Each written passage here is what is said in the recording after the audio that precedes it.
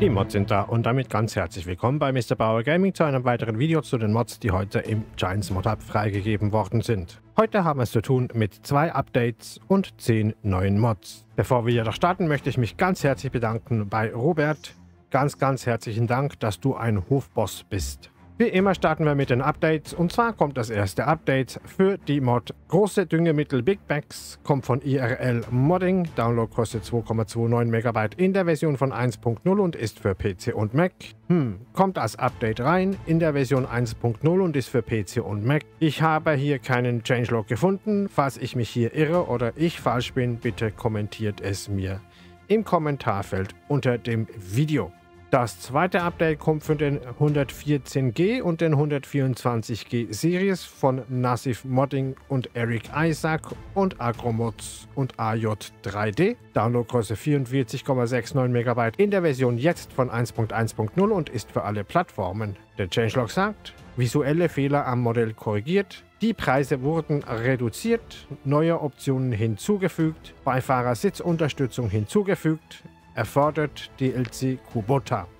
Und damit kommen wir auch schon zu den neuen Mods. Und zwar ist die erste Mod das Pack Mahindra Retriever 1000 von Agrotono, Downloadgröße 19,6 MB in der Version von 1.0 und ist für alle Plattformen. Dieses Pack bringt drei Mahindras in das Spiel und zwar zum einen den Retriever 1000. Der kommt mit einer Leistung von standardmäßigen 83 PS, wird stufenlos geschaltet, hat eine Tankfüllmenge für Diesel von 34 Litern, 97 km/h ist die Maximalgeschwindigkeit, hat ein Zuladevolumen von 460 Litern, wiegt 949 Kilo und kostet 17.200 Euro.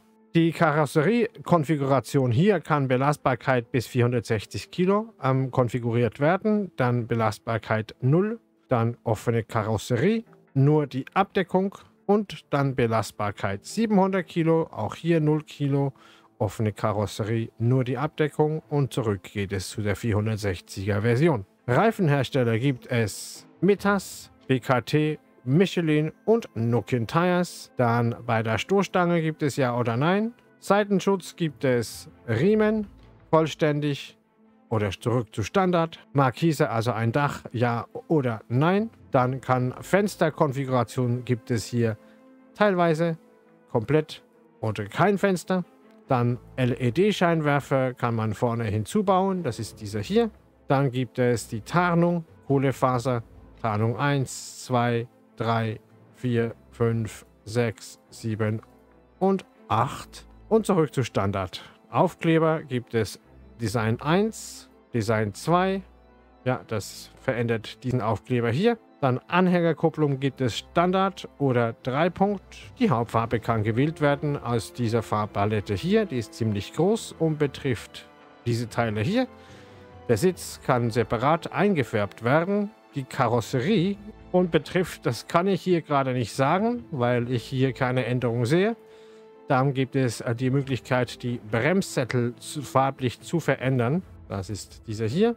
Und natürlich gibt es die Felgenfarbe aus dieser großen, großen Farbpalette raus. Die kann man frei wählen. Ja, das wäre dann einmal diese Konfiguration. Dann gibt es den 1000er Crew. Das ist eine lange Version. Die Leistungsmerkmale bleiben dieselben. Der Preis liegt bei 20.200 Euro. Die Belastbarkeit auch hier ist dieselbe wie beim Vorgängermodell, weil es natürlich nicht mehr Platz gibt, weil ja jetzt vier Personen da sitzen. Reifenhersteller und alles andere bleibt wie gehabt. Auch hier die Hauptfarbe kann gewählt werden und das betrifft, das haben wir auch schon gesehen. Karosserie weiß ich nicht, was es betrifft, das habe ich schon vorhin nicht rausgefunden. Alles andere bleibt gleich. Und dann gibt es noch die Langbett-Version. Also das ist auch hier diese hier. Das ist also einfach die lange Version, aber nur mit zwei Sitzen. Hat dieselben Leistungsmerkmale bis auf das Füllvolumen von 1800 Litern anstatt den 460 Litern. Kostet 18.200 Euro. Belastbarkeit kann geändert werden von 1800 zu 0. Zu offene Karosserie nur die Abdeckung und zurück zu 1800. Alles andere bleibt identisch. Hier, was sich hier ändert mit der Farbkategorie Karosserie, ist dieser Aufbau hier. Ja, haben wir eine ganze Menge von neuen Retrievern hinzubekommen von Mahindra. Ja, viel Spaß damit. Die nächste neue Mod heißt Parker 2500 Gravity Wagon, kommt von Rooster Mods, Downloadgröße 6,23 MB in der Version von 1.0 und ist für alle Plattformen. Ist dieser Anhänger hier, hat ein Fassungsvolumen von 8,8 Kubikmeter, wiegt 3,9 Tonnen und kostet 8200 Euro. Die Verlängerung hier kann hinzugebaut werden, ja oder nein. Wenn ja, dann vergrößert sich das Füllvolumen auf 11,3 Kubikmeter. Dann gibt es das Warndreieck hinten, das kann gewählt werden zwischen neu und alt. Und hier vorne neuer und alter Aufkleber kann gewählt werden. Hier mit dem Aufsatz, das ist dieser hier, der Untersatz, das ist dieser Anhänger hier. Da gibt es alt und neuer Aufkleber. Wir kommen zum Lizard 3 Adapter von Venom Mods, Downloadgröße 0,44 MB in der Version von 1.0 und ist für alle Plattformen. Ist dieses Teil hier, ist somit eine 3 Ballengabel, wiegt 650 Kilo und kostet 1800 Euro.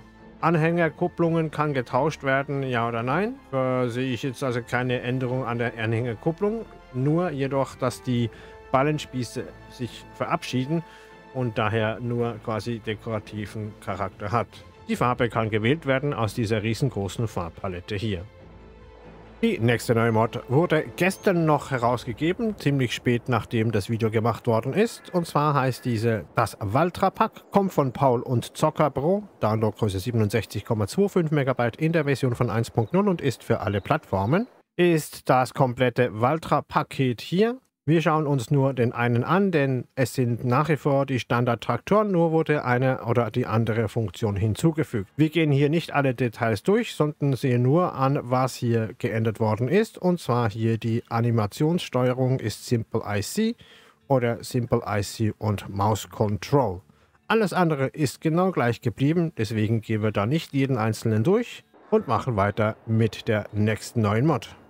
Die nächste neue Mod heißt KPSH3, kommt von Charis One, Downloadgröße 2,1 MB in der Version von 1.0 und ist für alle Plattformen. Ist dieser Tiefenlockerer hier, kommt mit einem Gewicht von 507 Kilo, braucht 80 PS, Arbeitsbreite 3 Meter, Arbeitsgeschwindigkeit 10 km/h. Der Preis 5000 Euro. Die Farbe kann gewählt werden aus dieser Vintage-Farbpalette hier. Die nächste neue Mod heißt Lizard Grubber, kommt von Makos, Downloadgröße 1,21 MB in der Version von 1.0 und ist für alle Plattformen. Ist dieser Grubber hier, kommt mit dem Gewicht von 600 Kilo, braucht 45 PS, hat eine Arbeitsbreite von 3,50 Meter, 15 km/h ist die Arbeitsgeschwindigkeit und kostet 2.500 Euro. Die Hauptfarbe hier kann gewählt werden zwischen Lizard Rot und Lizard Blau. Der Lizard L359T ist die nächste neue Mod, kommt von Permas Modding, Downloadgröße 2,77 MB in der Version von 1.0 und ist für alle Plattformen. Ist dieser Tankauflieger hier, kommt mit einem Volumen von 35.961 Litern, wiegt 6,5 Tonnen und kostet 44.000 Euro. Die Beleuchtung kann geändert werden zu EU, Nordamerika oder zurück zu EU. Dann die Panzerfarbe betrifft der Tank an sich. Das ist also nicht die Panzerfarbe, sondern die Tankfarbe gemeint, weil Tank übersetzt auf Englisch heißt ja eigentlich Panzer, aber in diesem Falle hier ist es definitiv der Tank.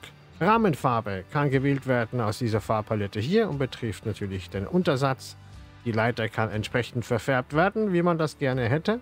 Dann die Tankstütze, die den Tank stützt hier, kann auch einzeln eingefärbt werden. Und als letztes haben wir noch die Felgenfarbe aus dieser Farbpalette hier.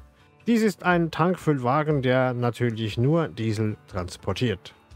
Wir kommen zum Kircher HDS C711. Dieser kommt von AREC, Downloadgröße 3,29 MB in der Version von 1.0 und ist für alle Plattformen. Ist zu finden im Baumenü unter Gebäude und Tools ist dieser Kercher hier, Kostenpunkt zum Platzieren, 9500 Euro, Unterhalt pro Tag 10 Euro. Ja, klassisch, hier kann man einfach sein Fahrzeug waschen. Nur ein Schuppen ist die nächste neue Mod und kommt von BK Mods, Downloadgröße 0,76 MB in der Version von 1.0 und ist für alle Plattformen. Ist natürlich zu finden im Baumenü unter Gebäude und Hallen. Ist diese Halle hier dieser Unterstand hier, Kostenpunkt zum Platzieren 5000 Euro, Unterhalt pro Tag 10 Euro. Hier gibt es nichts wirklich dazu zu sagen, denn ja, das ist halt einfach dieser Unterstand. Und damit kommen wir auch schon zu der letzten neuen Mod und zwar heißt dieser Winter Kuhstall, kommt von Missy B, Downloadgröße 8,65 MB in der Version von 1.0 und ist für alle Plattformen. Ist natürlich zu finden im Baumenü unter Tiere und Kühe. Ist dieser Kuhstall hier, Kostenpunkt zum Platzieren 50.000 Euro, Unterhalt pro Tag 5 Euro. Schauen wir mal uns diesen Kuhstall an. Hier passen rein 50 Kühe. Gibt keine Wiese, es ist ja ein Winterkuhstall. Das ist das Tiermenü. Hier drüben wird Wasser eingefüllt und hier wird auch die Milch dann abgeholt. Hier ist der Futtereingabepunkt. Ich habe versucht, hier Stroh reinzugeben. Als Balle geht nicht, aber Heu kann ich als Balle hier eingeben. Ihr könnt sehen, hier ist Futter mit dabei. Das ist aufgrund dessen, dass ich hier vorhin versucht habe, eine Heuballe reinzumachen.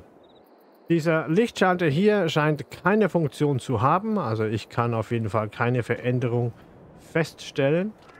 Auch wenn es Leuchtstoffröhren in dem Stall hat, habe ich keine Möglichkeit gefunden, hier das Licht einzuschalten.